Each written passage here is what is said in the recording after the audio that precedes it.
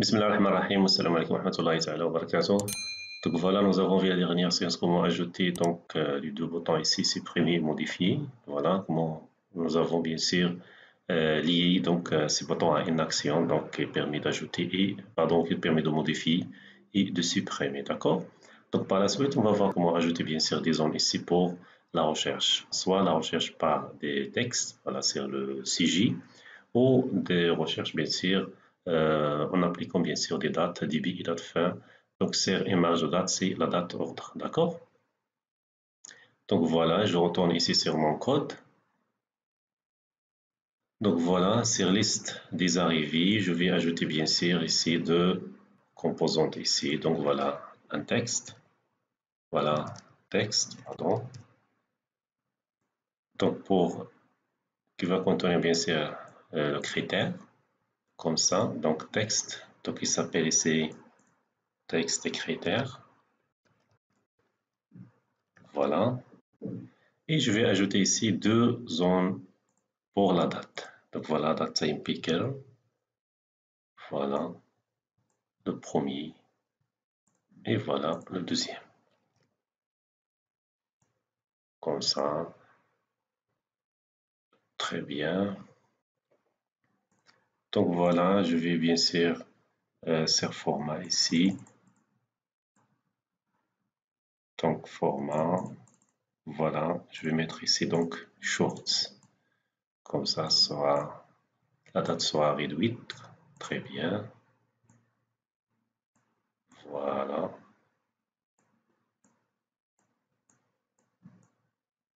Très bien. Donc je vais ajouter un bouton. Comme ça, c'est bon. Et voilà, je vais ajouter bien sûr checkbox. Voilà, un checkbox ici. Très bien. Pour le checkbox, je vais mettre ici donc euh, est-ce que je vais utiliser la date pour la recherche en nom. Donc voilà, use date, comme ça. Et pour le texte, Voilà, je vais mettre ici donc date. Comme ça, c'est bon.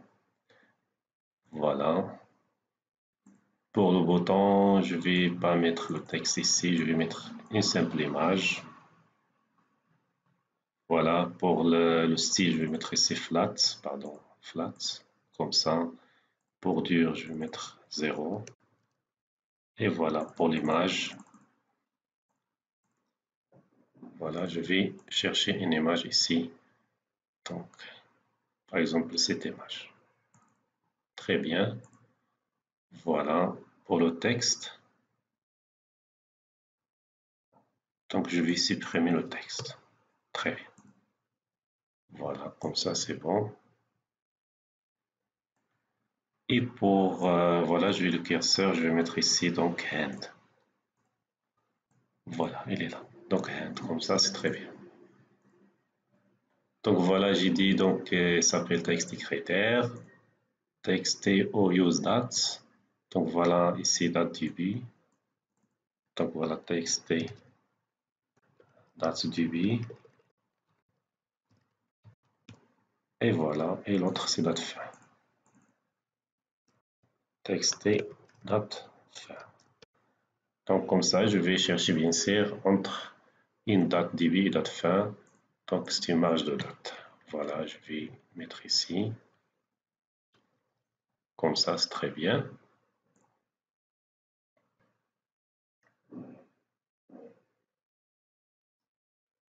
Donc voilà vous voyez, donc l'interface, je pense, euh, c'est bien. Très bien, je peux sélectionner l'ensemble comme ça. Et voilà, ici, je vais par exemple les aligner en très bien. Voilà. Pour le moment, qu'est-ce que je dois mettre ici? Tout simplement, je dois accéder ici. Pardon, pour le bouton, je vais mettre ici donc btn search. Donc voilà, c'est mon clic. Je vais tout simplement actualiser la liste. Et je vais vous montrer donc, comment bien sûr modifier donc, la fonction load data pour qu'elle accepte bien sûr la recherche donc avec la zone de texte donc euh, comme critère et bien sûr les dates. D'accord?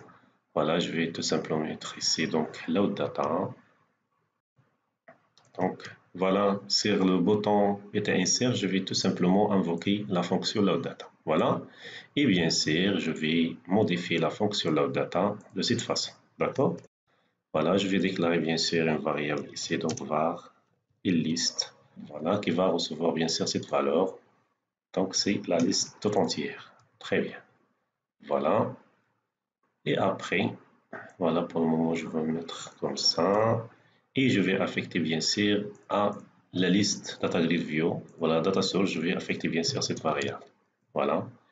Et à cette étape ici, je vais bien sûr faire des filtres bien sûr selon les champs remplis sur notre interface. Soit euh, je vais travailler tout simplement par les zones de texte, je vais chercher sur la colonne donc CJ, ou je vais bien sûr entrer une marge de date entre date début et date fin, d'accord?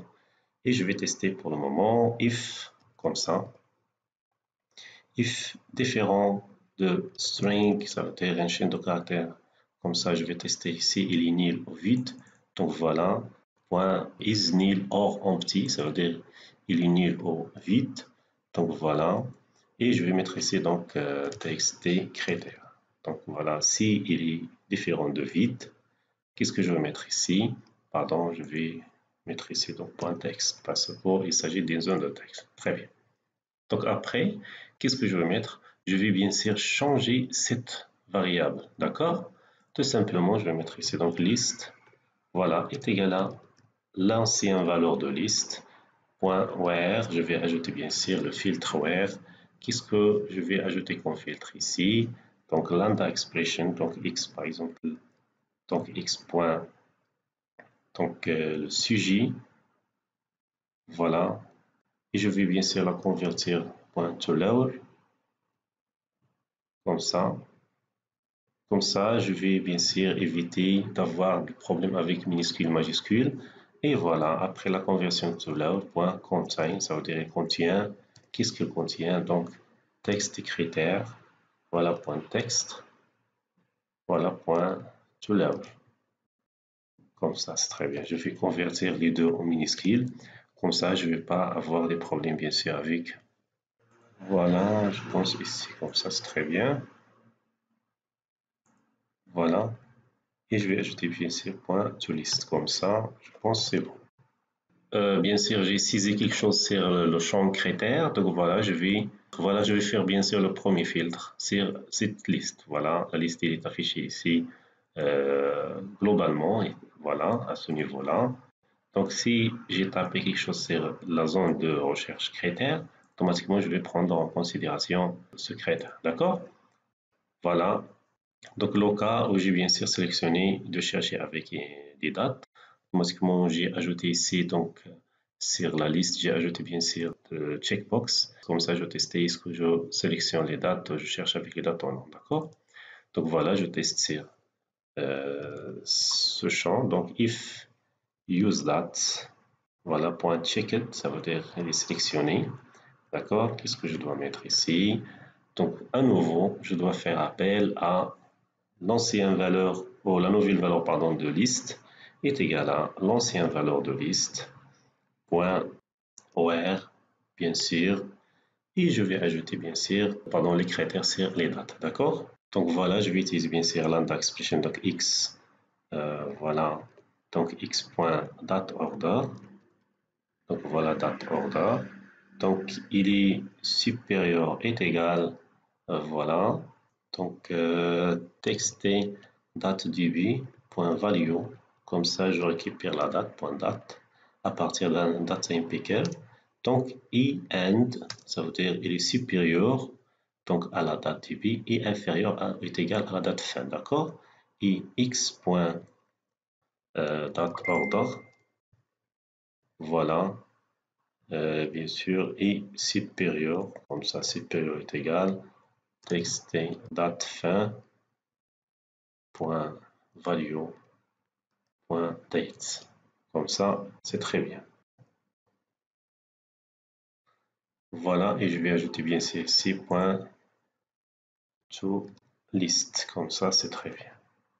Donc voilà, je peux retourner à la ligne comme ça, liste, point, voilà. Donc il va faire le premier filtre, donc voilà, il va faire un filtre sur le nom, pardon, sur le sujet, comme ça. Donc il va convertir les deux en minuscules, il va faire euh, donc la fonction contient, ça veut dire qu'il contient. Donc je cherche par un morceau de texte, voilà, qu'il contient. Donc voilà, texte critère texte.toLove, ça veut dire je vais convertir les deux en minuscules. Si j'ai sélectionné bien sûr la case à cocher use date, d'accord? Si oui, je vais ajouter bien sûr donc un deuxième filtre. J'ai appliqué le premier filtre, il est là. Si le deuxième filtre, bien sûr, il est applicable, voilà, je vais ajouter le deuxième filtre de cette façon. Et après, je vais afficher bien sûr, je vais affecter bien sûr la, version finale de la variable list à DataGridView, voilà, point list. Comme ça, c'est très bien. Pardon, je vais ajouter simplement ici point virgule, d'accord? Je vais mettre ici CTRL 4D pour formater mon code. Et voilà.